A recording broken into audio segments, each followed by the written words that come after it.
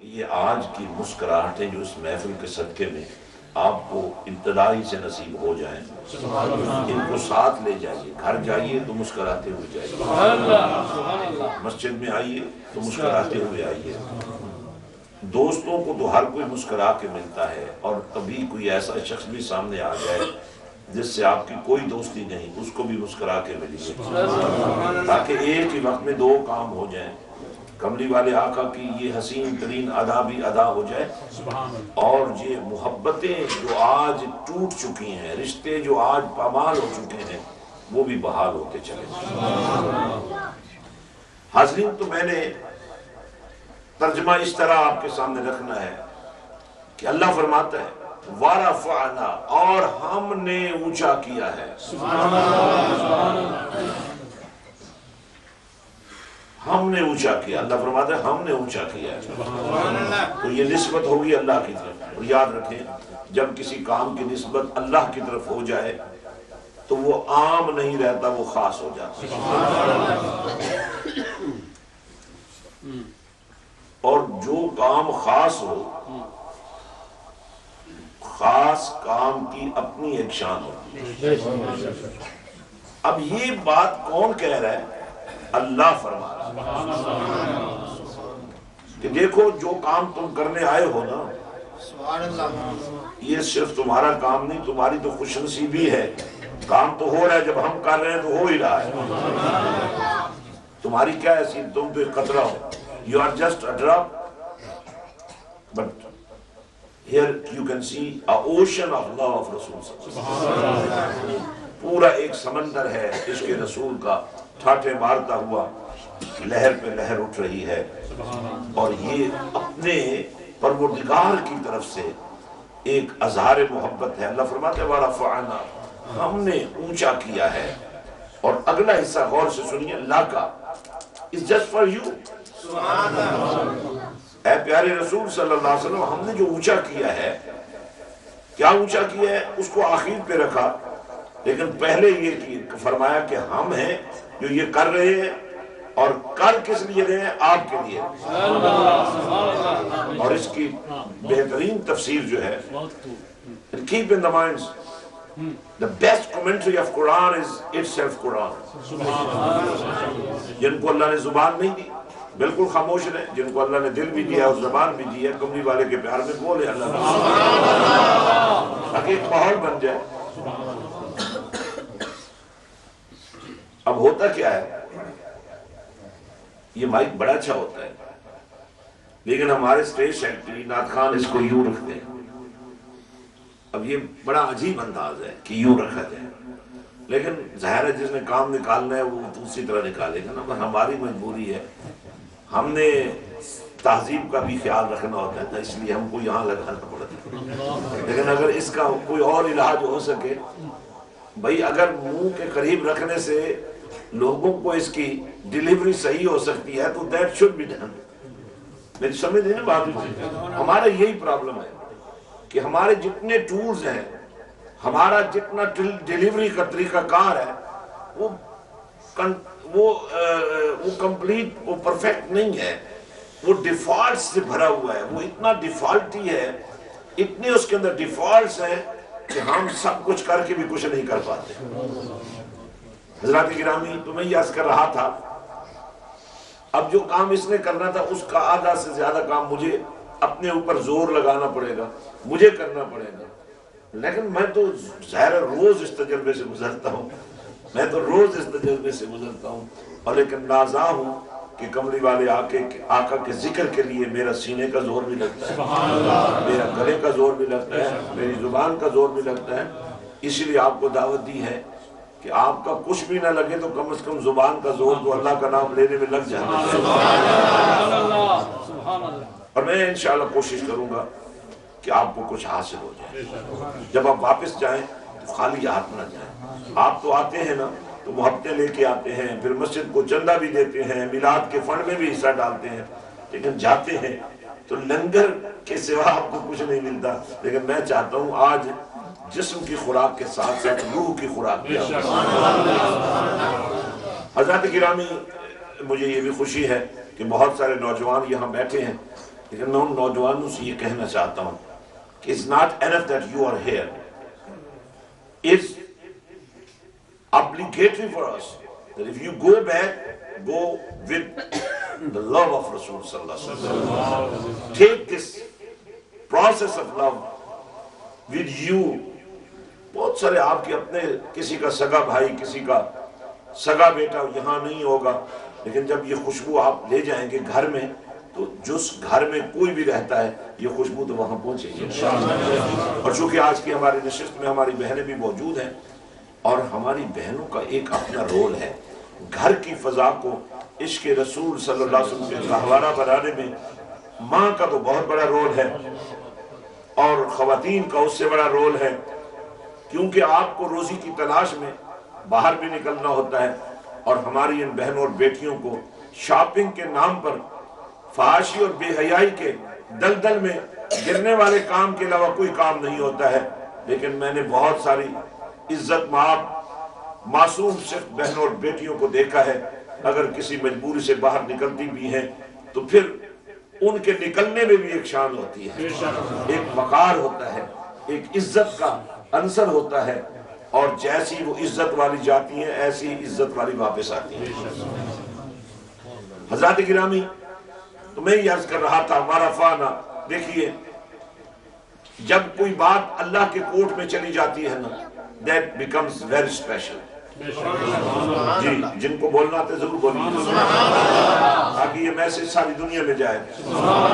جب کوئی چیز اللہ سے منسوب ہو جاتی ہے جب کسی چیز کا تعلق اللہ سے ہو جاتا ہے، جب کسی کا چیز، کسی چیز کا لنک اللہ سے مل جاتا ہے، تو پھر اس کی کیفیت کیا بن جاتی ہے؟ میں اس حدیث پاک کا ذکر کروں گا۔ جب کوئی بندہ راتوں کو جاگتے جاگتے، نفل پڑھتے پڑھتے، بندگی کا حق ادا کرتے کرتے اپنے رب کے اتنا قریب ہو جائے کہ اللہ فرمائے، فَأَحْبَبْتُهُ۔ اب تو میں بھی تم سے محبت کرنے لگے It's not just you.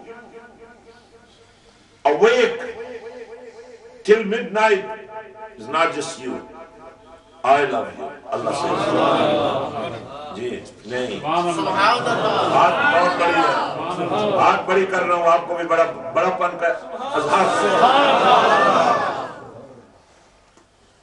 قرآن نے ان راتوں کو جاگنے والوں پر جو رب کو پیار آتا ہے نا، اس کا بڑا ذکر کیا۔ وَالَّذِينَ يَبِيتُونَ لِرَبِّهِمْ سُجَّدًا وَقِيَامًا۔ اور یہ راتیں میلاد کی راتیں، یہ راتیں ربیع الاول کی راتیں، یہ راتیں ذکر مصطفیٰ کی راتیں، یہ دن یاد مصطفیٰ کے دن ان کی تو اپنی ایک شان ہے نا؟ ان کا تو اپنا ایک مقام ہے ان کا تو اپنا ایک مرتبہ ہے۔ ان راتوں میں ان ان شاموں میں ان صبحوں میں ان دنوں میں ان نکلتے سورج کی روشنی میں ان ڈھلتے سورج کے سایوں میں جب کہکشاں قائم ہوتی ہے ستاروں کی تو وہ بھی درود و سلام پڑھتے نظر آتے ہیں۔ نصیب ہے وہ نوجوان۔ جس کی جوانی مستانی نہیں بنی، یورپ کی فضاؤں میں دیوانی بنی عشق مصطفیٰ came the lover of your but how you can be until you don't know what is the status of your رسول صلی اللہ علیہ وسلم what is the level of your رسول صلی اللہ علیہ وسلم and how beloved your Rasul is to Allah subhanahu wa ta'ala that Allah says warafana we have upraised.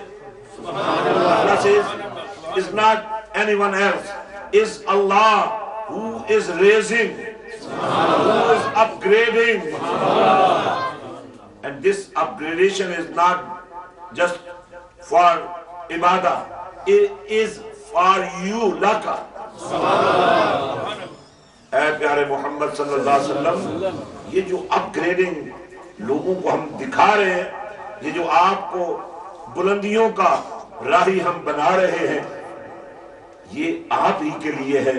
اور وہ بلندیاں کس حوالے سے ذکر کا کام بھی بتا دیا، وہ آپ کا ذکر ہے۔ وہ آپ کا ذکر ہے۔ اور اس ذکر کو آپ نے محسوس نہیں کیا شاید۔ آپ محسوس کیجیے گا۔ میں اس کا عرض کرنا چاہتا ہوں۔ کہ وہ کیا طریقے ہیں جن سے اللہ نے اپنے نبی کے ذکر کو بلند کر دیا ہے۔ وہ طریقے سن لیجیے۔ آزان ہوتی ہے۔ اللہ اکبر۔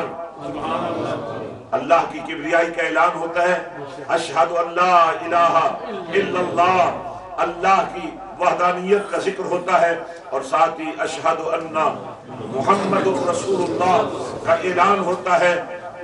اللہ نے جب یہ فرمایا کہ اے پیارے ہم نے آپ کے لیے آپ کے ذکر کو بلند کر دیا ہے تو اس کی کچھ مثالیں بھی ہمارے سامنے ٹیکسیکل فارم میں رکھنی کہ آزان ہوگی اللہ کا نام لیا جائے گا کملی والے کا نام بھی لیا جائے گا ہاں اقامت ہوگی اللہ کا ذکر بھی کیا جائے گا کملی والے کا ذکر بھی کیا جائے گا نماز پڑھی جائے گی نماز میں نیت اللہ کے لیے کی جائے گی ذرا بولنا پڑے گا پتہ لگے آج کا اور اس لیے بیٹھے ہیں کہ آج جولیوں کو بھر کر لے جانا ہے۔ حضرت گرامی آزان ہو رہی ہے، اقامت پڑی جا رہی ہے، اب جناب نیت کی جا رہی ہے۔ سب بندی ہو گئی، سب بندی ہو گئی، جماعت تیار ہو گئی۔ آزان سن کر آشکان مصطفیٰ اللہ کے گھر کی طرف قدم بڑھاتے آ رہے ہیں۔ اب ذرا سوچئے، جس نے آزان سنی اور اس پر اثر نہیں ہوا جس نے آزان سنی اور اللہ کی کبریائی کے سامنے اپنا ماتا جھکانے کے لیے اللہ کے گھر آ گیا What do you feel?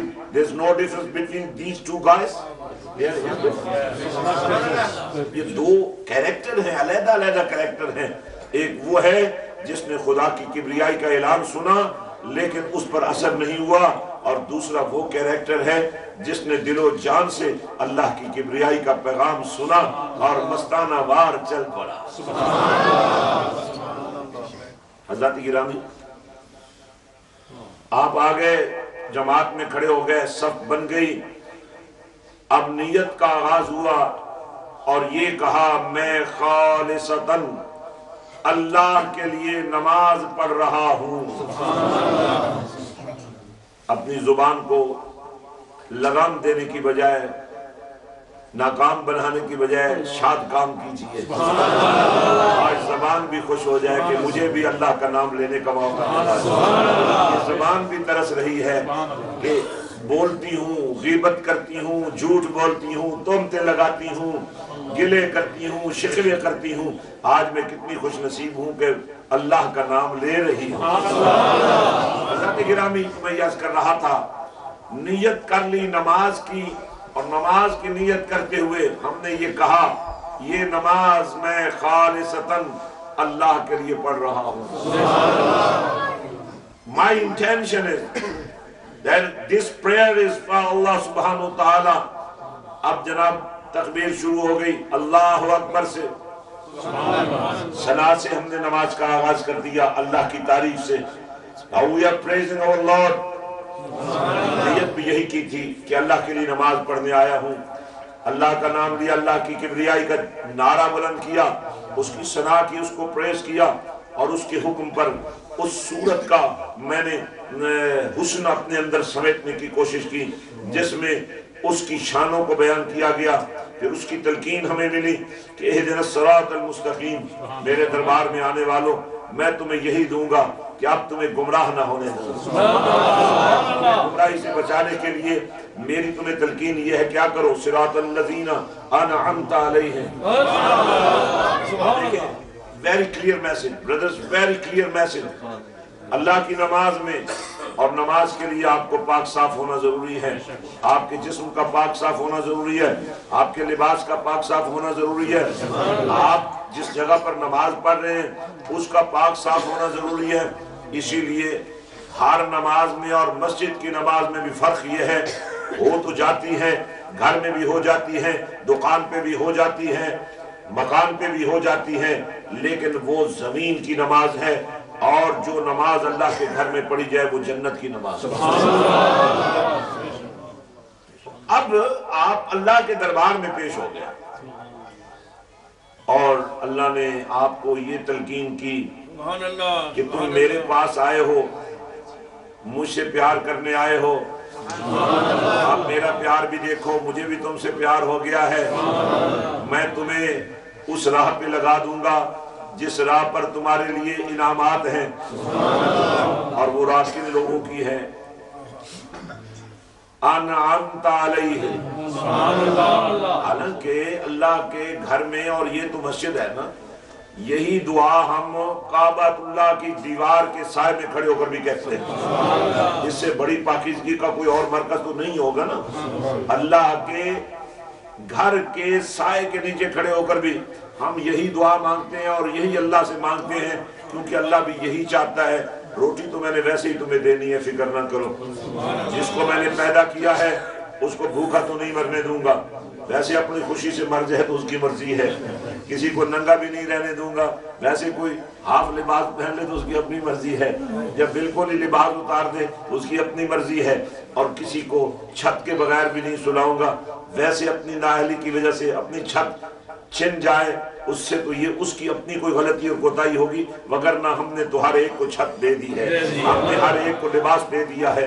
اور اس سے بہتر لباس دینا چاہتے ہیں لباس تقوی بھی عطا کرنا چاہتے ہیں۔ یہ ایک سفر تھا جو میں آپ کو اس پوائنٹ پر لانے کے لیے شروع کر چکا ہوں۔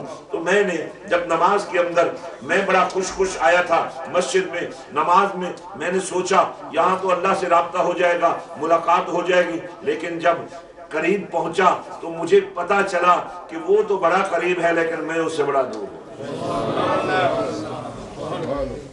میں بڑا دور وہ بڑا قریب ہے۔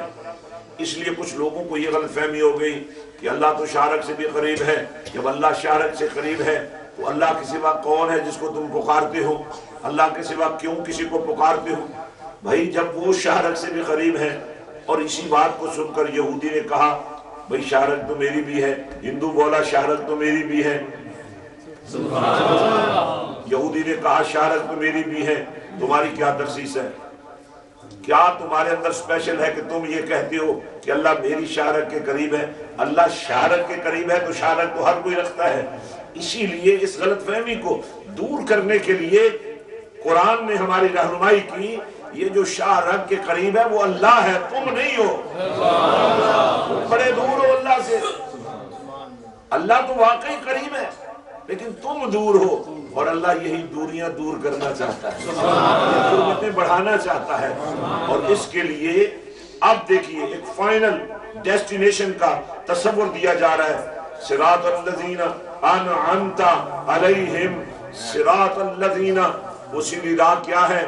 جس کی ہم طلب اللہ سے کر رہے ہیں، وہ ان لوگوں کی راہ ہے۔ میں تو بڑی خوشی سے پہنچا تھا بھی اللہ سے ملاقات ہونے والی ہے۔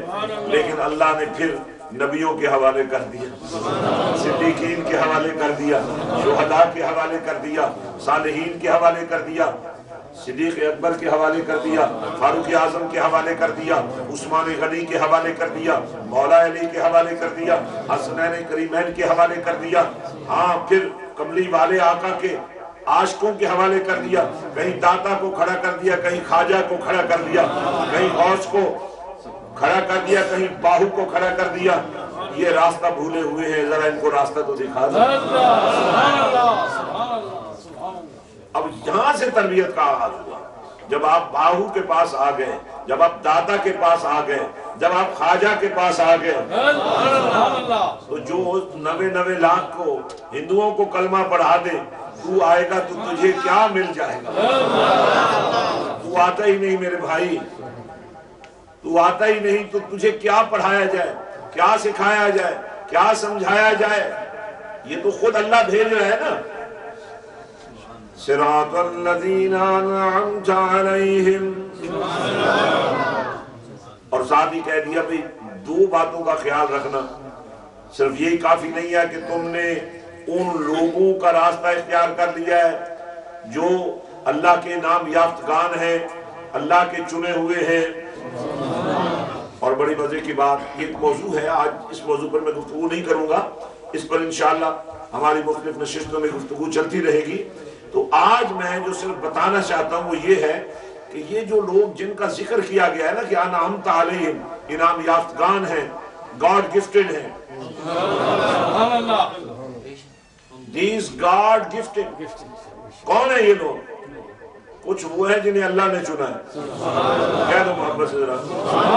کچھ وہ لوگ ہیں جن کو اللہ نے چھوڑا who are being chosen by Allah subhanahu wa ta'ala and some are those who are being chosen by Rasulullah sallallahu alaihi wasallam? کچھ وہ ہیں جنہیں اللہ نے چنا. کچھ وہ لوگ ہیں جنہیں کملی والے نے چنا. لیکن جنہیں کملی والے نے چنا، ان کو بھی اللہ نے چن لیا. اور قرآن نے ان کی نشاندہی کی. من النبیین یہ ہیں وہ جنہیں اللہ نے چنا اور جنہیں نبی نے چنا، وہ کون ہے والصدیقین والشہداء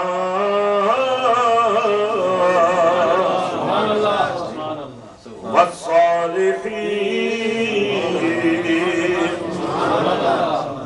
اور ساتھ ہی مور بھی لگائی وہاں سنا اولائی کا رفیقہ تمہیں اللہ فرما رہا ہے کہ میں تمہیں بتا رہا ہوں، ایسے دوست تمہیں کہیں اور سے نہیں مل سکتا۔ ایسے لجپال تمہیں کہیں اور سے نہیں مل سکتے۔ ان کی لجپالیوں کا حال کیا ہے؟ حضرت قطادہ رضی اللہ تعالیٰ عنہ آنکھ جنگ میں زخمی ہو گئی اور آنکھ باہر آ گئی، اٹھا کے آ گئے کملی والے آقا کی بارگاہ میں اور کہا، یا رسول اللہ اللہ علیہ وسلم۔ مجھے آنکھ چاہیے۔ کملی والے نے فرمایا یو نیڈ آئی اور یو نیڈ پیراڈائز آنکھ چاہیے کہ جنت چاہیے۔ کہنے لگا I demand for I you can give paradise also میری تو ڈیمانڈ یہ تھی کہ مجھے آنکھ چاہیے، اگر آپ جنت بھی ساتھ دے دیں تو کوئی حرج نہیں ہے۔ اللہ اکبر، لینے والے اس طرح لیتے ہیں۔ یہی تو میں کہہ رہا ہوں، کچھ انداز تو بناؤ نا یار، کچھ دامن تو پھیلاؤ نا میرے بھائی۔ کوئی آنکھوں کو بھیگنے تو دو نا، کوئی دل کو مچلنے تو دو نا، کوئی سوچوں کو نکھرنے تو دو نا، کوئی کملی والے آقا کے قدموں کی خاک کو، اپنی آنکھوں کو سرما بنانے تو دو نا۔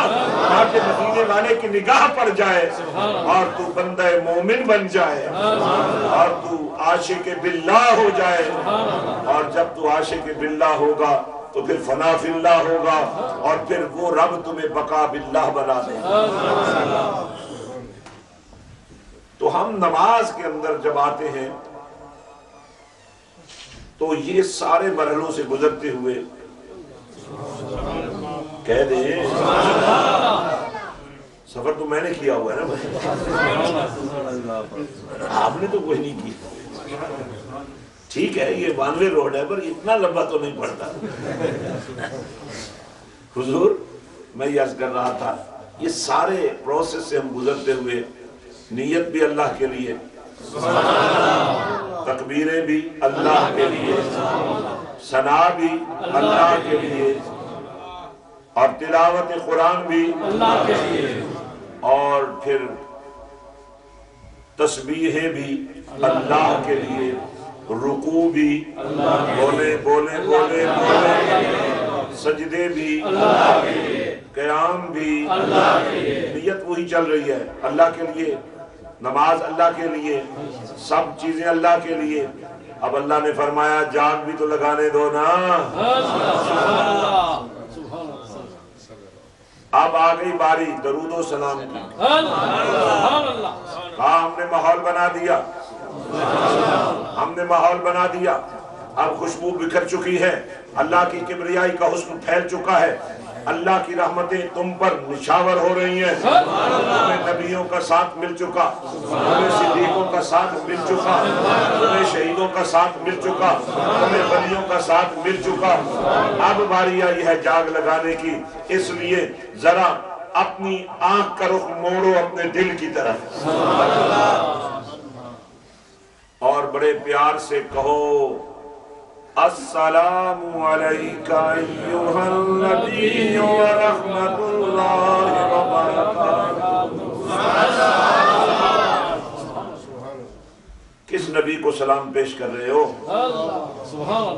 جو نبی مدینے میں آرام کر رہے ہیں کیا تمہاری آواز وہاں پہنچ جائے گی کیوں کہہ رہے ہو What is the logic for that? What is the logic for that? You are here in Slough. Why you are saying Assalamu alayka ayyuhan nabiyyu?